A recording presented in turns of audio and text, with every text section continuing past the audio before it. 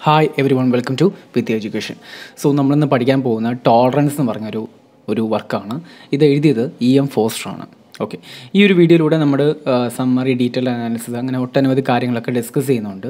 Premium മെമ്പേഴ്സിന് detailed അനാലിസിസിന്റെ complete കാര്യങ്ങളും അവൈലബിൾ ആയിരിക്കും.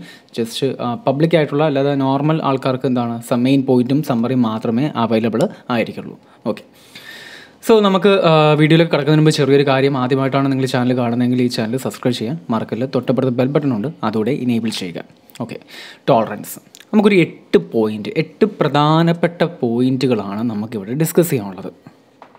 സോ ഈ ഒരു എട്ട് പോയിന്റിലൂടെ നമ്മൾ ഇതിന്റെ കംപ്ലീറ്റ് കാര്യങ്ങൾ ഡിസ്കസ് ചെയ്യുന്നതാണ്. എന്ന് വെച്ച് കഴിഞ്ഞാൽ ഈ സമ്മറി ഇത് ഇപ്പം ഒരു എക്സാമിന്റെ തലേന്നൊക്കെ നോക്കുന്ന ഒരു വ്യക്തികളൊക്കെ ആണെങ്കിൽ അതായത് ഡിഗ്രി ലെവൽ അല്ലെങ്കിൽ പി ജി ലെവലൊക്കെ എക്സാമിന്റെ തലേന്ന് ജസ്റ്റ് നോക്കാനാണെങ്കിൽ എട്ട് പോയിന്റുകൾ മതിയാവും. എട്ട് പോയിന്റ് അതേ പണി കാണാൻ പിടിച്ചിട്ട് പോയി കഴിഞ്ഞാൽ നിങ്ങൾക്ക് എന്തെങ്കിലുമൊക്കെ എഴുതി വെക്കാൻ പറ്റും.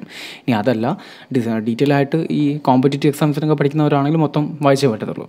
Okay so tolerance first point നമുക്ക് ഡിസ്കസ് ചെയ്യാം. അപ്പോൾ എന്താണ് ടോളറൻസ് എന്താണ് ടോളറൻസ് എന്ന് അറിയണ്ടേ? ടോളറൻസ് എന്താ? ടോളറേറ്റ് ചെയ്യുക. ടോളറേറ്റ് ചെയ്യുക എന്ന് വെച്ച് കഴിഞ്ഞാൽ ക്ഷമ. ക്ഷമിക്കുക. സഹിഷ്ണുത എന്നൊക്കെ നമ്മൾ പറയത്തില്ലേ? സഹന ശക്തി എന്ന് നമ്മൾ പറയത്തില്ലേ? അതാണ് ടോളറൻസ് എന്ന് പറയുന്നത്. എന്ന് പറഞ്ഞാൽ ക്ഷമിക്കുക സഹിക്കുക ക്ഷമയോട് നിൽക്കുക. ഇതൊക്കെയാണ് ടോളറൻസ് ഇപ്പോൾ ഫസ്റ്റ് പോയിന്റ് നമുക്ക് നോക്കാം.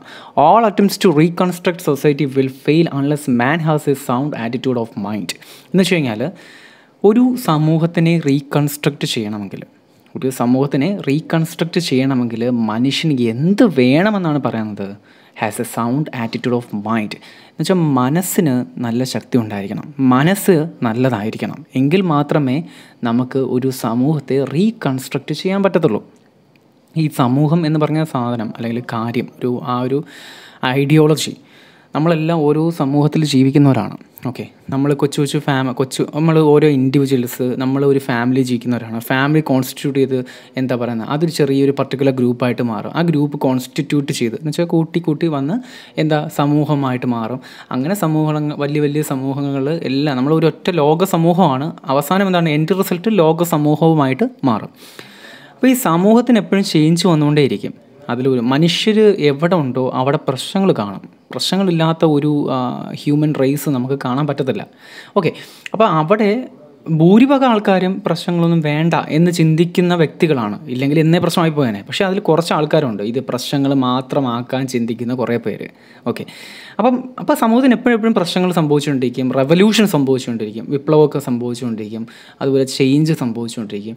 അപ്പം മനുഷ്യൻ അപ്പം ചിലപ്പോൾ സമൂഹം തകർന്നു പോകും. ഈ യുദ്ധങ്ങളൊക്കെ വരുമ്പോഴത്തേക്ക് യുദ്ധങ്ങളൊക്കെ വരുമ്പോഴത്തേക്കോ അല്ലെങ്കിൽ സമൂഹത്തിൽ എന്തെങ്കിലും മോശമായിട്ട് ഒരു ഭരണാധികാരി മോശമായിട്ടാണ് ആ രാജ്യം ഭരിക്കുന്നതെങ്കിൽ അവിടെ പ്രശ്നങ്ങളുണ്ടാവും. അപ്പം അത് റീകൺസ്ട്രക്ട് ചെയ്യണമെങ്കിൽ ആ സമൂഹം പിന്നെയും പഴയപടി ഒരു ഹാർമണി ഹാർമോണിയസ് ലൈഫിൽ നല്ലൊരു ജീവിതത്തിൽ നല്ലൊരു ജീവിതം ആകുന്ന സമൂഹത്തിൽ പോകണമെങ്കിൽ മനുഷ്യന് നല്ല മനസ്സുണ്ടായിരിക്കണം. അതാണ് ഒന്നാമത്തെ പോയിന്റ് രണ്ടാമത്തെ point most people believe that civilisation can be rebuild on the basis of ideal of love but it is an impracticable idea എന്നുവെച്ചാൽ എല്ലാ ആൾക്കാരും ചിന്തിച്ചു വെച്ചിരിക്കുന്നത് സ്നേഹം കൊടുക്കുക. സ്നേഹം എന്ത് ചെയ്യുക? സ്നേഹം അങ്ങ് വാരി വിതറുക. എന്നൊക്കെയാണ് എല്ലാവരും വിചാരിച്ചത്. അങ്ങനെ അങ്ങ് സ്നേഹിച്ച് സ്നേഹിച്ച് നമുക്ക് എന്ത് ചെയ്യാം? എല്ലാം നമുക്ക് അടിത്തറ ഉണ്ടാക്കാം. എല്ലാം നമുക്ക് കാര്യങ്ങൾ ബിൽറ്റ് ചെയ്യാം. സ്നേഹമാണ്. എന്ന് വെച്ചാൽ നമ്മൾ ഒരു ഒരു പത്താം ക്ലാസ് അല്ലെങ്കിൽ ഒരു എട്ടാം ക്ലാസ് അല്ലെങ്കിൽ പ്ലസ് വൺ പ്ലസ് ടു ഒക്കെ ആ ഒരു ചിന്താഗതികളൊക്കെ ഇല്ലേ? എന്ന് വെച്ചാൽ സ്നേഹമാണ് വലുത് പ്രേമമാണ് വലുത് എന്നൊക്കെ ഒരു ചിന്താഗതി നമുക്ക് എല്ലാവർക്കും ഉണ്ട്. എല്ലാവർക്കും ഉള്ളതാണ് എല്ലാ മനുഷ്യന്മാർക്കും ഉള്ളതാണ് അപ്പം ആ ഒരു ആ ഒരു രീതിയിലേക്ക് ആ ഒരു ചിന്ത ഒരു കുട്ടിത്തം ചിന്തയാണ് സത്യം പറഞ്ഞാൽ ഒരിക്കലും ഒരു ഇടയിൽ സ്നേഹം എടുത്ത് എന്താ പറയുന്നത് അടുപ്പിലോട്ട് ഇട്ട് കഴിഞ്ഞാൽ ഒരിക്കലും നമുക്ക് ചോറും കറിയും ഉണ്ടാക്കാൻ പറ്റത്തില്ല. അപ്പം നമുക്ക് അത് എല്ലാ ആൾക്കാരും പറയുന്നതെന്ന് വെച്ച് കഴിഞ്ഞാൽ ഈ സ്നേഹത്തിന്റെ പുറത്ത് നമുക്ക് എന്തും റീബിൽറ്റ് ചെയ്യാമെന്ന് പക്ഷെ നടക്കത്തില്ല. ഇപ്പം നമ്മുടെ ഒരു റീസെന്റ്ലി നമ്മൾ നോക്കുകയാണെങ്കിൽ ഇപ്പം ഞാൻ ഈ വീഡിയോ ഇടുന്ന ഈ ഒരു വർഷ കാലഘട്ടത്തിൽ നമ്മൾ നോക്കുകയാണെങ്കിൽ എല്ലാ കാര്യങ്ങളും മണിയുടെ ബേസിസിലാണ് പണത്തിന്റെ ബേസിസിലാണ് നിങ്ങൾ ചിന്തിച്ചാൽ മതി എന്ത് കാര്യമാവട്ടെ എന്ത് കാര്യം നിങ്ങൾ എടുത്താലും അത് പണത്തിന്റെ ബേസിസിലാണ് പണത്തിന് പണമില്ലാതെ ഒരു കളിയില്ല. ഈ സ്നേഹബന്ധമാണെങ്കിലും മാരേജ് ലൈഫ് ആണെങ്കിലും ഫ്രണ്ട്ഷിപ്പ് ആണെങ്കിലും എല്ലാ കാര്യങ്ങളും പണത്തിന്റെ ബേസിസിലാണ് നിൽക്കുന്നത്. ഓക്കെ അത് എന്ന് വെച്ച് കഴിഞ്ഞാൽ ഞാൻ തന്നെ ഒരു സിമ്പിൾ കാര്യം പറയാം. സിമ്പിൾ കാര്യം പറയാം. നമ്മൾ വിചാരിക്കും നമുക്ക് നല്ല നല്ല കൂ അപ്പം അത് നിങ്ങൾ തന്നെ ചിന്തിക്കും അതങ്ങനെ സാറേ അതങ്ങനെ പണത്തിന്റെ ബേസിസിലല്ല ആവുന്നത് എന്നൊരു ചിന്ത വരും. ഞാൻ പറയട്ടെ നമ്മൾക്ക് നമ്മൾ ഒരു കോളേജിൽ കോളേജിൽ അല്ലെങ്കിൽ നമുക്കൊരു സ്കൂളിലൊക്കെ എന്ത് ചെയ്യുന്നത് നമുക്ക് കൂട്ടുകാരെ കിട്ടുന്നത് അപ്പോൾ എനിക്ക് അവനെ കിട്ടി. എനിക്ക് അവനെ അത്രത്തോളം കിട്ടി. അല്ലെങ്കിൽ എനിക്ക് തൊട്ടപ്പുറത്തെ വീട്ടിൽ ഒരു- സഹപാഠിയെ കിട്ടുന്നത് അല്ലെങ്കിൽ കൂട്ടുകാരനെ കിട്ടുന്നത് അപ്പം ഒരു ഫ്രണ്ട്ഷിപ്പ് അവിടെ സ്റ്റാർട്ട് ചെയ്യുകയാണ്. നല്ലൊരു ഫ്രണ്ട്ഷിപ്പ് സ്റ്റാർട്ട് ചെയ്യുകയാണ്. അപ്പോൾ അതെങ്ങനെ പണത്തിന്റെ ബേസിസിലാകും എന്നൊരു ചിന്ത നിങ്ങൾക്ക് വരും. ഓക്കെ ഞാൻ ഒരു കാര്യം പറയട്ടെ. സ്കൂളിൽ അല്ലെങ്കിൽ കോളേജിൽ നിങ്ങൾ ആ സ്കൂളിലും കോളേജിലും പോകാൻ കാരണമായത് എന്താണ്? അവിടെ അഡ്മിഷൻ കൊടുത്ത് പൈസ മേടിച്ചുകൊണ്ടല്ലേ പൈസ മേടിച്ചുകൊണ്ടല്ലേ പൈസ കൊടുത്ത് പൈസ മേടിച്ചുകൊണ്ടല്ല പൈസ കൊടുത്ത് നിങ്ങൾ അവിടെ അഡ്മിഷൻ മേടിച്ചുകൊണ്ടാണ് നിങ്ങൾക്ക് അങ്ങനെ ഒരു ബന്ധം കിട്ടിയത്. ഇനി ആ കൂട്ടുകാരൻ ചിലപ്പോൾ അവിടെ വിളിക്കുമ്പോഴും ഇവിടെ വിളിക്കുമ്പോഴും എല്ലാം പോകണമെങ്കിൽ പണം വേണം. പണം ഇല്ലെങ്കിൽ ആരും മൈൻഡ് ചെയ്യത്തില്ല. അതാണ് എന്റെ ഇന്നത്തെ സൊസൈറ്റിയുടെ അൾട്ടിമേറ്റ് ട്രൂത്ത് എന്ന് പറയുന്നത് മണിയാണ് ഓക്കെ അപ്പം ഓക്കെ അപ്പോൾ ഇറ്റ് ഈസ് എൻ ഇമ്പ്രാക്ടിക്കൽ അപ്പം സ്നേഹത്തിന്റെ പുറത്തോ അല്ലെങ്കിൽ നമ്മൾ ആ ഒരു ഭയങ്കര ഫിലോസഫിയുടെ പുറത്തൊന്നും ഒരിക്കലും ഒരു സിവിലൈസേഷൻ സിവിലൈസേഷൻ എന്ന് പറയുന്നത് എന്താ? നാഗരികത എന്ന് വെച്ച് കഴിഞ്ഞാൽ ഒരു സംസ്കാരം. അതൊക്കെയാണ് സിവിലൈസേഷൻ എന്ന് പറഞ്ഞാൽ അർത്ഥം കൊണ്ട് അർത്ഥമാക്കുന്നത്. എന്ന് വെച്ചാൽ നമുക്ക് ഒരുപാട് സിവിലൈസേഷൻ ഇന്ത്യ തന്നെ Indus valley civilisation Harappan civilisation എന്ന് വെച്ചാൽ ഒരു കൂട്ടം ആൾക്കാർ വലിയൊരു ടൗണിലൊക്കെ ജീവിക്കുമ്പം അവിടെ അല്ല ഒരു വലിയൊരു കൂട്ടത്തോടെ ജീവിക്കുമ്പോൾ അവിടെ സിവിലൈസേഷൻ ഉണ്ടാകും. നമുക്ക് ഇപ്പം നിലവിലുള്ളത് ഇന്ത്യൻ സിവിലൈസേഷൻ ആണ്. ഓക്കെ ഇന്ത്യക്കാരുടെ സിവിലൈസേഷൻ ആണ് നമുക്കിപ്പം ഉള്ളത്. ഓക്കെ സോ സിവിലൈസേഷൻ എന്ത് ചെയ്യുക സിവിലൈസേഷൻ റീബിൽഡ് ചെയ്യണമെങ്കിൽ സ്നേഹത്താൽ നടക്കത്തില്ല. അവിടെ നമുക്ക് വേണ്ടത് അധ്വാനം. ഇപ്പോഴത്തെ ഒരു കണ്ടീഷനിലാണെങ്കിലും മണി ഇതിൽ പറഞ്ഞിട്ടില്ല മണി പറഞ്ഞിട്ടില്ല. ഞാനത് എന്റെ പേഴ്സണൽ ഒപ്പീനിയൻ പറഞ്ഞതാ. അധ്വാനത്തിലൂടെയും ഇതുപോലെ ടോളറൻസിലൂടെയാണ് നമുക്ക് സിവിലൈസേഷൻ റീബിൽഡ് ചെയ്യാൻ പറ്റത്തുള്ളൂ. എല്ലാ ആൾക്കാരും വിചാരിക്കുന്നത് ക്ഷമിച്ച് സഹിച്ചിരിക്കുന്നത് ഒരു ഡൾ ആൻഡ് നെഗറ്റീവ് വിർച്ചു ആണെന്നാണ് എന്ന് വെച്ച് കഴിഞ്ഞാൽ ഇപ്പം ഞാൻ കാര്യം പറയട്ടെ? ക്ഷമ. എന്തിനും ഇതിനും നമ്മൾ ക്ഷമിക്കാറുണ്ട്. ഇപ്പം നിങ്ങളെ ഒരാൾ വന്ന് നിങ്ങളെ ഒരാൾ വന്ന് അടിക്കാനോ അല്ലെങ്കിൽ ചീത്ത വിളിച്ചുകൊണ്ടേ ഇരിക്കുക അല്ലെങ്കിൽ വഴക്ക് പറഞ്ഞുകൊണ്ടേയിരിക്കുക അപ്പോൾ നമ്മൾ ക്ഷമിക്കും. നമ്മൾ കുറേയൊക്കെ ക്ഷമിക്കും. കുറേയൊക്കെ ക്ഷമിക്കുമ്പം തൊട്ടപ്പെടുത്തിക്കുന്ന ഒരു കൂട്ടുകാരൻ പറയും നീ എന്തിനാ അത്ര ക്ഷമിക്കുന്നേ? ഒന്നോ രണ്ടോ ഒരു തവണ പറയുന്നത് ഓക്കെ പിന്നെ എന്തിനാ ക്ഷമിക്കുന്നേ? എന്ന് ചോദിക്കും. ഓക്കെ. അപ്പം അങ്ങനെയൊക്കെ പറയുമ്പം ക്ഷമ നല്ലതല്ലെന്ന് ആ കൂട്ടുകാരൻ പറയുന്നുണ്ട്.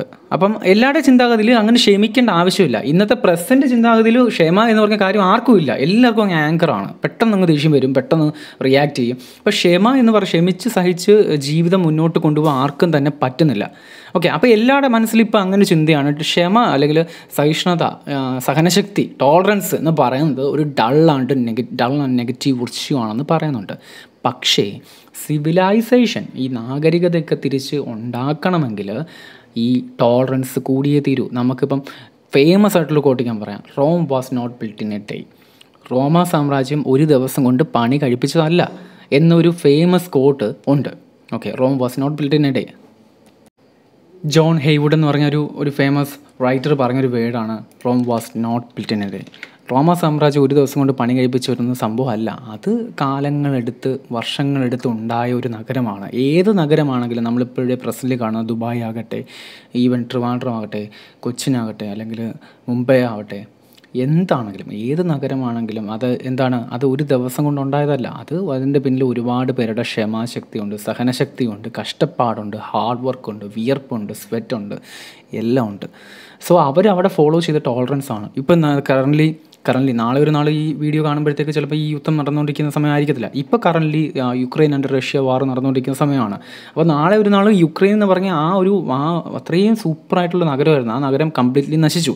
ആ ഒരു സിവിലൈസേഷനും ആ ഒരു നഗരവും റീബിൽഡ് ചെയ്യണമെങ്കിൽ അവിടുത്തെ ആൾക്കാരെ തിരിച്ചു വന്ന് ടോളറൻസ് എന്ന് പറഞ്ഞ ആ ഒരു ക്വാളിറ്റി അവർക്ക് ഉണ്ടെങ്കിലേ അത് നടക്കത്തുള്ളൂ. അല്ലാതെ എനിക്കിതൊന്നും വയ്യ. എനിക്ക് അതൊക്കെ ആരെങ്കിലും ചെയ്തോട്ടെ എന്നുള്ള രീതിയാണെങ്കിൽ ഒരിക്കലും നമുക്കൊന്നും റീബിൽഡ് ചെയ്യാൻ പറ്റത്തില്ല. ഇ എം ഫോസ്റ്റർ അതാണ് പറയുന്നത്. So the only alternative tolerance is the Nazi way of killing all those whom we do not like അപ്പോൾ പുള്ളിക്കാരൻ പറയുകയാണ് നമുക്ക് എങ്കിൽ പിന്നെ ആൾട്ടർനേറ്റീവ് എന്നൊക്കെ നമ്മൾ പറയത്തില്ലേ? നമുക്ക് ബദലായിട്ടൊരു സംവിധാനം ബദലായിട്ടൊരു സംവിധാനം. ഓക്കെ ടോളറൻസ് എങ്കിൽ പിന്നെ ടോളറൻസ് വേണ്ട. നിങ്ങൾ ക്ഷമിക്കേണ്ട. നിങ്ങൾ ക്ഷമയൊന്നും വേണ്ട.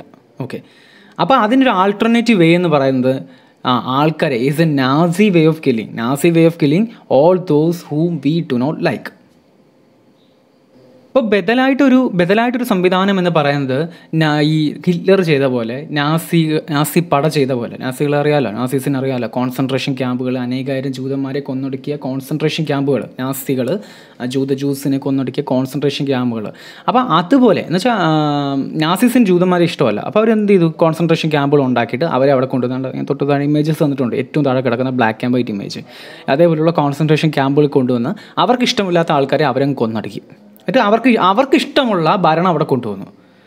ഓക്കെ അപ്പോൾ ടോളറൻസിലൂടെ നമുക്ക് സിവിലൈസേഷൻ റീബിൽഡ് ചെയ്യാൻ പറ്റത്തുള്ളൂ. ഇനിയിപ്പോൾ അത് നിങ്ങൾക്ക് പറ്റത്തില്ലെങ്കിൽ പിന്നെ വേറെ വഴി എന്ന് വെച്ച് കഴിഞ്ഞാൽ നാസികൾ ഉപയോഗിച്ച ആ വഴി തന്നെ.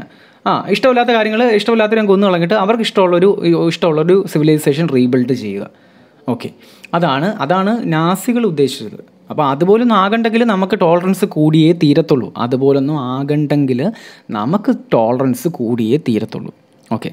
The tolerance is no, needed in all areas of human activity. It is needed in the street, in office, that the factor, the relationship between nations and races. അപ്പം ക്ഷമ എല്ലാ സ്ഥലത്തും മനുഷ്യൻ എവിടെ ഉണ്ടോ അവിടെ ക്ഷമ നിങ്ങൾ ഫോളോ ചെയ്യണം ക്ഷമയുണ്ടെങ്കിൽ പല കാര്യങ്ങളിലും നമുക്ക് നമുക്ക് എന്താ പറയുന്നത് സ്റ്റേ ചെയ്യാൻ പറ്റത്തുള്ളൂ ഇപ്പം നിങ്ങൾ ജോലിക്ക് പോകുന്ന ജോലിക്ക് പോകണമെങ്കിൽ നിങ്ങളുടെ ബോസസ് ബോസ് നിങ്ങളുടെ ഹെഡ് ബോസ് അല്ലെങ്കിൽ ഹെഡായിട്ടിരിക്കുന്ന ആൾക്കാർ നിങ്ങളെ വഴക്ക് പറയും പെട്ടെന്ന് നമ്മൾ തിരിച്ച് റിയാക്ട് ചെയ്യാൻ തുടങ്ങിക്കഴിഞ്ഞാൽ ആ ജോലി നഷ്ടപ്പെടും. നിങ്ങളുടെ നിങ്ങൾക്ക് പിന്നെ പൈസ ഒന്നും കിട്ടത്തില്ല. സോ അവിടെ ക്ഷമ ആവശ്യമാണ്. പഠിക്കാൻ പോകുന്ന സ്ഥലത്ത് നിങ്ങൾ ചിലപ്പോൾ എന്താണ് നിങ്ങൾക്ക് അവിടെ ഒരുപാട് ഫെയിലിയർ ഏൽക്കേണ്ടി വരുമായിരിക്കും അങ്ങനെ ഒരുപാട് കാര്യങ്ങൾ ഏൽക്കേണ്ടി വരും. അപ്പം നിങ്ങൾ ക്ഷമിക്കുക. ക്ഷമിച്ച് മുന്നോട്ട് പോവുക. ലോജിക്കലായിട്ട് മുന്നോട്ട് പോവുക. ഓക്കെ ക്ഷമ ഉള്ളിൽ വെച്ചുകൊണ്ട് അതായത് എന്തിനും ഏതിനും തിരിച്ച് റിയാക്ട് ചെയ്യാൻ നിന്നാൽ പിന്നെ അതിന് സമയം കാണാത്തുള്ളൂ. ഓക്കെ അതിന് ഞാൻ എപ്പോഴും പറയാറുള്ള ഫോളോ ചെയ്യാറുള്ള ഒരു കാര്യമാണ്. കുറച്ച് വൾഗറാണ് ഈ നമ്മൾ പോകുമ്പോൾ സ്ട്രീറ്റ്സിലൂടെ പോകുമ്പോൾ ഒരുപാട് പട്ടികൾ കിടന്ന് കുരയ്ക്കും ഇല്ലേ? ഒരുപാട് പട്ടികൾ കിടന്ന് ഇങ്ങനെ കുരച്ചുകൊണ്ടേയിരിക്കും. അപ്പോൾ നമ്മൾ അതിനെ എല്ലായിടത്തും കല്ലെടുത്ത് എറിയാൻ തുടങ്ങിക്കഴിഞ്ഞാൽ പിന്നെ അതിനേ സമയം കാണത്തുള്ളൂ. നമ്മൾ ക്ഷമയോട് നമ്മളങ്ങ് മുന്നോട്ട് പോവുക. നമ്മുടെ ഒരു ലക്ഷ്യം മുന്നിൽ കണ്ടുകൊണ്ട് നമ്മൾ മുന്നോട്ട് പോവുക. അല്ലാതെ ചുമ്മാ നടന്ന് എന്താ പറയുന്നത് ആവശ്യമില്ലാതെ ആവശ്യമില്ലാത്ത കാര്യങ്ങളിൽ പോയി ഇടപെട്ട് അല്ലെങ്കിൽ ആവശ്യമില്ലാത്ത കാര്യങ്ങൾ എപ്പോഴും ഏതിനും എന്താ പറയുന്നത് റിയാക്ഷൻ എന്ന് പറഞ്ഞ പരിപാടി എടുത്ത് വെക്കൽ. ക്ഷമ ക്ഷമിക്കേണ്ട സമയത്ത് നമ്മൾ ക്ഷമിച്ച് മുന്നോട്ട് പോകാം. എന്ന് വെച്ചാൽ എല്ലാ സമയത്തും നമ്മുടെ ലൈഫിൽ ക്ഷമ കാണിക്കുകയും ചെയ്യൽ. റിയാക്ട് ചെയ്യേണ്ട സമയത്ത് റിയാക്ട് ചെയ്യുക ക്ഷമിക്കേണ്ട സമയത്ത് ക്ഷമിക്കുക. അപ്പോൾ പുള്ളിക്കാരൻ പറയുന്ന ടോളറൻസ് എന്ന് പറയുന്ന കാര്യം ഹ്യൂമൻ ആക്ടിവിറ്റിയുടെ എല്ലാ ഏരിയാസിലും ആവശ്യമാണ്. അത് തെരുവുകളിൽ ആവശ്യമാണ് ഓഫീസിൽ ആവശ്യമാണ് ഫാക്ടറിയിൽ ആവശ്യമാണ് ഈ രാജ്യങ്ങൾ തമ്മിലുള്ള ഇന്റർനാഷണൽ റിലേഷൻഷിപ്പിൽ ആവശ്യമാണ്. റേസസ് ഗോത്രങ്ങൾ തമ്മിൽ ആവശ്യമാണ്. ഇതൊക്കെയാണ് പറയുന്നത്. അപ്പോൾ ഈ ടോളറൻസ് എന്ന് പറഞ്ഞ കാര്യം ഫോളോ ചെയ്ത് അഡ്മയർ ചെയ്ത കുറേ ഗ്രേറ്റ് മെൻസ് ഉണ്ട്. അവരുടെ പേരാണ് ഇറാസ് ഇറാസ്മസ് മൊണ്ടീനി മൊണ്ടീൻ ആണെന്ന് തോന്നുന്നു. മൊണ്ടീൻ ലോക്ക് ഗോതെ ഈ നാല് പേരും ഈ ടോ ഈ ഒരു ടോളറൻസ് എന്ന് പറഞ്ഞ ചിന്താഗതിയെ അഡ്മയർ ചെയ്ത വ്യക്തികളാണ്. ഓക്കെ ഗ്രേറ്റ് മെൻ ആണ്. അതൊന്ന് അവരുടെ പേരൊന്ന് ജസ്റ്റ് ഒന്ന് കോട്ട് ചെയ്ത് വെച്ച് കഴിഞ്ഞാൽ നിങ്ങൾക്ക് ഓർമ്മിക്കും. So we often find fanaticism in other people, but we ignore it in ourselves. We have to practice tolerance in our own life. So what is fanaticism? Fanaticism നമ്മുടെ നാട്ടിൽ ഇപ്പോൾ കണ്ടുവരുന്ന ഒരു കാര്യമാണ് മതഭ്രാന്ത്. മതത്തിനോടുള്ള ഭ്രാന്ത്. നല്ലൊരു പരിപാടിയല്ല. ഐ ടോട്ടലി ഡിസഗ്രി നമ്മൾ ഈ മതവുമായിട്ട് ബന്ധപ്പെട്ട കാര്യം കൂടാൻ നിന്ന് കഴിഞ്ഞാൽ ഒരു കാര്യമില്ല ചുമ്മാ ഉള്ള കാര്യമാണ്. ഒരു കാര്യമില്ല സോ മറ്റുള്ള ആൾക്കാരിൽ നമ്മൾ എന്ത് ചെയ്യാറുണ്ട്? ഈ ഫനാറ്റിസിസം മതഭ്രാന്ത് കാണിക്ക കാണാറുണ്ട്. But we ignore it in our self പക്ഷേ നമ്മളിൽ നമ്മളത് കൊണ്ട് നടക്കാറില്ല. ചില മിക്ക ആൾക്കാരും എനിക്ക് തോന്നുന്നില്ല. അങ്ങനെ ഈ മതഭ്രാന്ത് കൊണ്ട് നടക്കുന്ന വ്യക്തികളാണ്. ഈ ഒരു ജനറേഷനിൽ അങ്ങനെ നമുക്ക് അങ്ങനെ അധികം കാണാൻ പറ്റുന്നില്ല. We have to practise tolerance in our own life അപ്പം നമ്മുടെ മനസ്സിൽ നമ്മുടെ ജീവിതത്തിൽ നമ്മൾ ക്ഷമ പ്രാക്ടീസ് ചെയ്യണം. പ്രാക്ടീസ് ചെയ്യണം. ഓക്കെ മതഭ്രാന്ത് കൊണ്ടു കിടക്കുന്നവർ കൊണ്ടു കിടക്കട്ടെ. അവരെന്തോ ഭ്രാന്ത് കൊണ്ടു കിടക്കട്ടെ. അവരെന്തോ കോപ്രായം കാണിക്കട്ടെ. നമ്മൾ അവരിലൊന്നും ചെന്ന് ചാടാതിരിക്കുക നമ്മൾ നമ്മുടെ ലൈഫുമായിട്ട് ടോളറൻസ് എന്ന് പറഞ്ഞ ആ ഒരു ചിന്താഗതി വെച്ചുകൊണ്ട് നമ്മുടെ ലൈഫ് മുന്നോട്ട് കൊണ്ടുപോവുക. So when civilisation is once rebuilt on the basis of tolerance love my inspire and ennoble it so ക്ഷമയോടുകൂടി ഒരു സിവിലൈസേഷൻ ഒരു നാഗരികത ഉണ്ടായാൽ ഒരു സൊസൈറ്റി ഉണ്ടായാൽ ക്ഷമയോടുകൂടി നമ്മൾ ഇങ്ങനൊരു സിവിലൈസേഷൻ ഉണ്ടാക്കിയെടുത്താൽ ബാക്കിയുള്ള കാര്യങ്ങൾ ക്രമേണ വന്നോളും. മനസ്സിലായില്ലേ? നിങ്ങളുടെ ലൈഫിൽ തന്നെ വിചാരിച്ചോ? നിങ്ങൾ ക്ഷമയോടുകൂടി എന്തോ ആൾക്കാർ എന്തൊക്കെ പറയട്ടെ ഓരോ ലൈഫിൽ ഓരോ ഓരോ ജീവിതത്തിന്റെ ഓരോ ഘട്ടങ്ങളിലെത്തുമ്പോൾ ഓരോ ആൾക്കാർ നമ്മളെപ്പറ്റി പറയുക അല്ലെങ്കിൽ നമുക്ക് ഒരുപാട് ഫോൾസ് ഉണ്ടാകുന്ന സമയങ്ങൾ കാണും. അപ്പോൾ നമ്മൾ ക്ഷമയോടുകൂടി മുന്നോട്ട് പോകുമ്പം അവസാനം ആ ഗോൾ അച്ചീവ് ചെയ്യുമ്പോൾ ഓട്ടോമാറ്റിക്കലി അവിടെ സ്നേഹവും അവിടെ നമുക്കൊരു നോബൽ റാങ്കും എല്ലാം തന്നെ കിട്ടും. അതുപോലെ തന്നെയാണ് സിവിലൈസേഷന്റെ കാര്യം. നമ്മൾ ഇപ്പോൾ തന്നെ നാഗസാക്കി എന്ന് പറഞ്ഞ നാഗസാക്കിയിൽ ഹിരോഷിമ എന്നൊക്കെ പറഞ്ഞാൽ ആ ഒരു പ്രദേശത്ത് ആറ്റം ബോംബ് അല്ലെങ്കിൽ ന്യൂക്ലിയർ ബോംബുകൾ വീണിട്ട് എന്താ നൂറ്റാണ്ടുകൾക്ക് അപ്പുറം ഇനി ഒരു ജീവൻ പോലും അവിടെ ഉണ്ടാകത്തില്ല എന്ന് പറഞ്ഞ ആൾക്കാരാണ് സയന്റിസ്റ്റുകൾ പക്ഷേ ഇന്ന് നമ്മൾ ആ നാഗസാക്കി എന്ന് പറഞ്ഞ ഒരു ആ ഒരു നഗരം കാണുകയാണെങ്കിൽ ഭയങ്കര ഡെവലപ്മെന്റ് ഉള്ള നഗരമാണ്. അപ്പോൾ അവർക്ക് അവർക്ക് ആ ഈ ടോളറൻസ് ഉണ്ടായിരുന്നു. അവർ ആ ടോളറൻസ് ഫോളോ ചെയ്ത് അവർ ആ സൊസൈറ്റി റീബിൽഡ് ചെയ്തു. പതിയെ പതിയെ ആൾക്കാരെല്ലാം എന്ത് ചെയ്യാൻ തുടങ്ങി? അവരെ ഇൻസ്പയർ ചെയ്യാൻ തുടങ്ങി. സമാന അവസ്ഥയാണ് എനിക്ക് തോന്നി ഈ നോർത്ത് ഈസ്റ്റിലുള്ള നോർത്ത് നോർത്ത് ഈസ്റ്റിലുള്ള മിക്ക കൺട്രീസും അങ്ങനെയാണ് നാഗസാക്കി റഷ്യം അതുപോലെ തന്നെ നമ്മുടെ ഈ തായ്ലൻഡ് സിംഗപ്പൂർ സിംഗപ്പൂർ നമ്മൾ മാത്രം ഇങ്ങനെ കുറേ ഒരു വലിയ ഡെവലപ്മെന്റ് ഒന്നും ഇല്ലാതെ എങ്കിലും ഉണ്ട്. കുഴപ്പമൊന്നുമില്ല. കേരളത്തിൽ അത്യാവശ്യമൊക്കെ കിട്ടുന്നുണ്ട്. കുഴപ്പമൊന്നുമില്ല. എങ്കിലും അതൊന്നും അല്ല ഡെവലപ്മെന്റ് നമ്മൾ ഡെവലപ്മെന്റ് കാണുമെങ്കിലും മറ്റുള്ള കൺട്രീസിൽ പോയി നോക്കണം. ഓക്കെ അപ്പം അവിടുത്തെ നാഗരികത നോക്കണം. അവിടുത്തെ സിവിൽ സിംഗപ്പൂരൊക്കെ ചെന്നാൽ one of the cleanest city in the world എന്നാണ് പറയുന്നത്. ഒരു ചപ്പ് ചെറവ് ചവറുകളൊന്നും കാണാൻ പറ്റത്തില്ല. സോ അവർക്ക് ആ ഒരു ഐഡിയോളജി ഉണ്ട്. നമ്മളും ഇതൊക്കെ ഫോളോ ചെയ്യണം. ആ ടോളറൻസ് ക്ഷമയെല്ലാം നമുക്ക് ഉണ്ടായിരിക്കണം. So it's it's our duty ഈ നോബിൾ എന്ന് പറയുന്ന give someone a noble rank or title ഇത്രയേ ഉള്ളൂ. ടോളറൻസ് എന്ന് പറഞ്ഞാൽ ആ ഒരു എസ്സയുടെ എട്ട് പ്രധാനപ്പെട്ട പോയിന്റുകൾ ഇത് പഠിച്ചുകൊണ്ട് പോയാൽ എക്സാമിന് നമുക്ക് റെഡിയാക്കാം